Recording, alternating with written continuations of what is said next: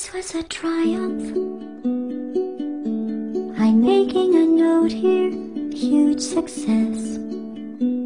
It's hard to overstate my satisfaction. Aperture science. We do what we must because we can. For the good of all of us, except the ones who dead. But there's no sense crying over every mistake.